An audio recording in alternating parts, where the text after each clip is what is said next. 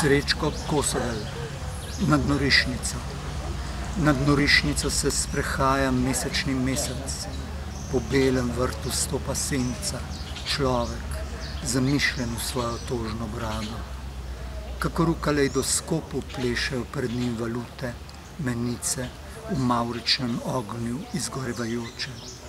Prej bankir, jetnik papirjev, se zdaj sprehaja z mesečnim mesecem, za belimi zidovi norišnice. To je svoboda, tista strašna svoboda, ko stopiš za nevidne zidove povečane človeške zavesti, ki se razmika v grozno ogromnost.